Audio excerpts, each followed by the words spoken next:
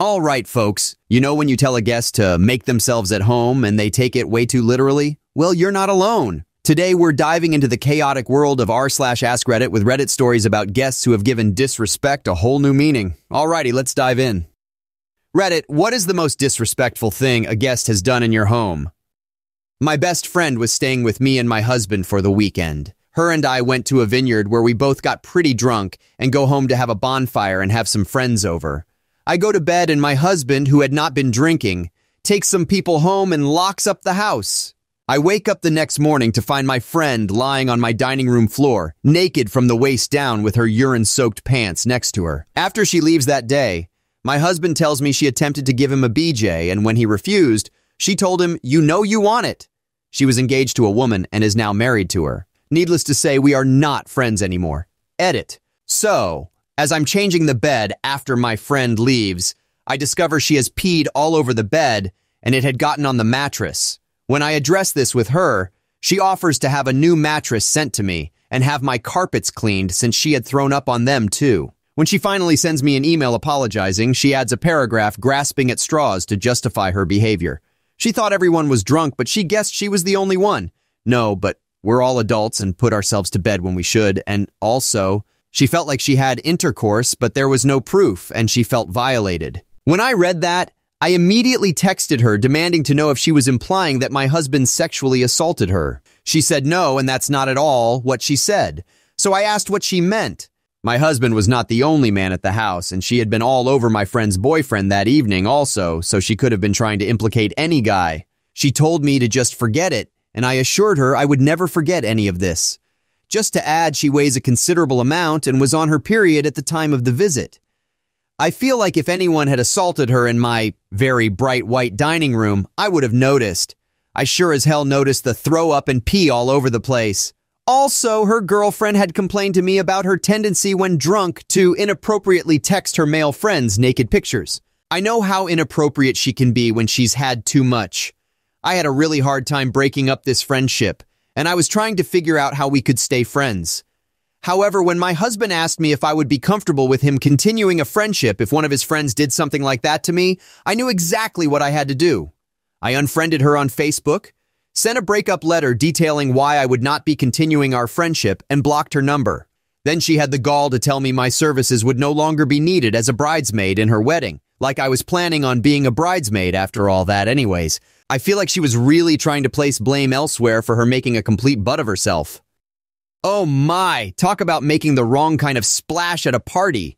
Peeing on the floor, making passes at the host's hubby, then laying down some CSI level misinformation, and you were meant to be a bridesmaid after such a P nominal performance?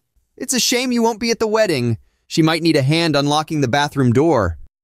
My partner's friend was staying with us and brought his large dog. One night, his dog tore up one of the bed pillows. Instead of letting us know, he just stuffed the pillow and feathers into the pillowcase to hide it. He left the next day and I went to wash the sheets. I pulled the pillow out of the case and completely covered the room in feathers. It was three months ago and I am still finding feathers floating around. We give him a lot of grief for it. Edit. I was just reminded about what happened a month later involving the same guest, Kevin. So Kevin comes back to stay with us for their fantasy draft. All the guys in the league are in town to draft and party, so we are hosting two guys, Kevin and we'll call the other guy Paul. I have known both for years. We all went to college together, so we were cool. Saturday is their big day to golf and draft, but it was also a really big day for me. I had been running for a year, never exercised before, and had trained hard for six weeks to run a 15K that Saturday. So the run goes great, and I'm lazy the rest of the day. Meanwhile, the guys are golfing, drinking, and gambling. They rush home to change and head to a specific wing place that has fantasy draft specials. I'm home when they come to change, and I meet another member of the league, Mick, who has known Kevin since they were kids. He's pretty tipsy, but we talk about running and says he's been training for a full marathon that's in two weeks. They leave, and I go to bed before they come back. They all come home pretty dinged up, which is totally fine. Turns out Mick is going to crash on the other couch because he definitely couldn't drive. My partner gets in the shower in our master bathroom that is only accessed through our master bedroom, which is super common. All of a sudden, someone busts through our door and into the bathroom. It's Mick. He starts vomiting chicken wings into the sink instead of the toilet that's right next to it. All the while, my partner is yelling at him to move to the toilet. Side note, we do have another bathroom that was closer to him and empty. Anyway, both Kevin and Paul rush to help and try to shove the food down the bathroom drain because, you know, we have a garbage disposal in our bathroom. Finally, they began scooping it out into a trash bag. I remained in bed with my back turned and pretended to be asleep.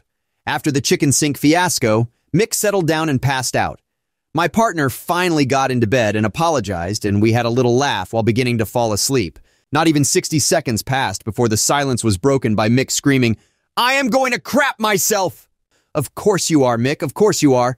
He was ushered to the proper bathroom. Used the toilet correctly to the best of our knowledge and crisis averted. Right? Wrong. Fast forward 15 minutes to us being woken up by a heated argument in our living room. Mick was at it again, this time choosing the laundry room as the ideal spot to vomit. Thankfully, he was redirected away from my washer and dryer that I had just paid off, and he threw up in the bathroom.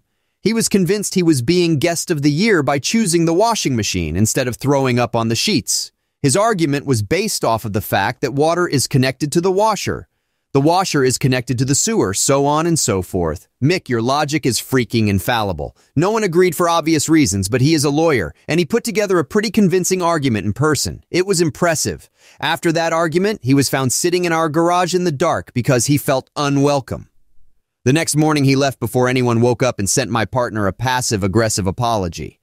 Thanks, Kevin, for inviting your friend to crash with us. Oh boy, Kevin, you really messed up on this one.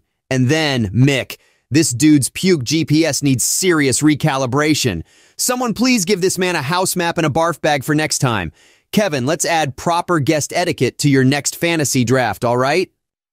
My roommates and I lived in a basement suite in a house during our second year of university with the landlord upstairs. The landlord was the chillest landlord that ever existed and was fine with us throwing parties every weekend pretty much. She had rented to a group of musicians for years before us and was accustomed to the noise. One time, she came down the set of stairs connecting the upper and lower suites to drop off some mail. The door in our basement is normally locked from the outside, so we can't go upstairs through it, but she must have forgotten to lock it back up on her way out. Later that night, we noticed that one of our friends, John, had disappeared. His shoes were still by the door, so we assumed he had walked outside barefoot. We didn't really make much of it because he suddenly reappeared half an hour later. The next day, the landlord comes down and says that we had an escapee last night. We were all confused for a moment, but then it all clicked for us at the same time. John. She recounted the story of what happened to us. Turns out John had been feeling adventurous and without realizing what he was doing, opened the door to the upstairs and walked up. He made his way to the fridge, opened it, and started eating handfuls of pie straight from the tin. Not only was she cool enough to not immediately call the police or put an end to our party, she also started talking to him. She asked him how old he was. He says, I'm 19. We are Canadian, so we are legal to drink. She follows up with, How long have you been 19? thinking it was his birthday, which would explain the excessive drunkenness.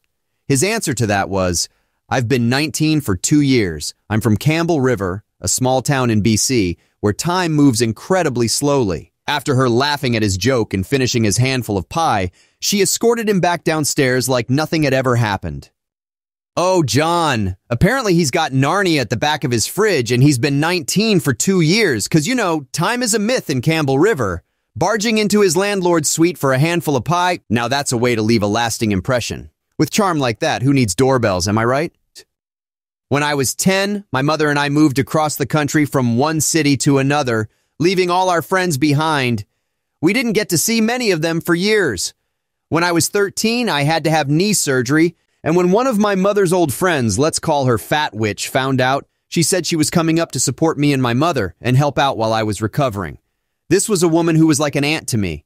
The plan was that she'd stay with us for two weeks and help me while my mother was at work. She arrives the night before my surgery, has dinner and breakfast, and then goes with us to the hospital. She was being extremely supportive and helping me and my mother through our anxieties about the surgery. Unfortunately, that's where it stopped. When I woke up, Fat Witch had gone to get lunch and had eaten too much and gotten food poisoning or something. Then she had to go back to our place to sleep it off. Sounds legit enough at the time. That night, my mother stayed to have dinner with me at the hospital. She got a call from Fat Witch who was asking, Why aren't you here? I come up here to hang out with you and you're nowhere. My mother obviously replies that she's in the hospital with me. So Fat Witch says, He'll be fine. Let's go to a bar. Surgery didn't go as well as we thought it would, so I ended up staying in the hospital for a few more nights. Every night it'd be the same thing. Then when I finally got home, Fat Witch would start saying the same things and start fights with my mother saying, I came up to see you. Why aren't we going out? We're meant to be having fun. Last time I saw her, she was meant to be hanging out with me while my mother was working, but instead she was packing her crap while complaining about my mother on the phone to her husband. She didn't even say goodbye on the way out. Apparently, my mom got a text from Fat Witch recently saying she was in town and she wanted to hang out because she'd forgiven her. Mom obviously told her no and to not contact her again. Oh boy, here's a lesson in how not to support a friend. You'd think a knee surgery visit isn't exactly the ideal vacation package, but Fat Witch here clearly missed that memo. Post-op cocktail party, anyone? A now ex-friend, we'll call him X, fell on hard times, and he and his dad needed a place to stay for three days between selling their house and moving into their new place. He asked if he could stay at my family home that I still had after my parents had passed. It was the house that they built, that I grew up in, and they died in. After three days, it turns out there's a hiccup at the new place, and it's going to take another week. Okay, no biggie, but I bet a lot of you can already see where this is going. Meanwhile, the one rule I told him is that he can't have either one of his a-hole sisters over during this time. One of them is a notorious thief with a mile-long record, and the other is this lazy pushover who I actually kind of feel sorry for. The story I was told is that she got her kids taken away from her because she was too afraid to put up any kind of fight for them. She was afraid of her ex-boyfriend and his family. But she's also a pretty severe alcoholic and a klutz, so I don't want to have to come there and clean up after her, especially since I'm in recovery myself. So I had just one rule no sisters. After about three months of excuse after excuse, I'm paying all the utilities the whole time, by the way, I finally decided that I needed to go down there and talk to them and see what the hell was up. We started to get some evidence that things were not good by his reports. First, we found out that they didn't sell their house by choice. Rather, they got evicted because the house was condemned by the city for being a health and fire hazard. Secondly, X may have slipped back into his own drug issues. And finally, while X was smart enough not to post pictures on Facebook, his idiot thief sister was not. Now, you might be asking why I let this go on for so long in the first place. The answer is that I'm a pretty trusting person by nature, and I like to give people the benefit of the doubt. Sure, I've gotten burned a few times because of this, but it mostly works out really well, and people are usually very gracious when I help them out. Plus, X was one of my very best friends in the world. Someone who had been there for me after my parents died, and someone I had helped out a lot in the past. I had no reason to suspect that this time would be any different. Until now. I get there, and the first thing that hits me is the smell garbage, food, BO, and animals.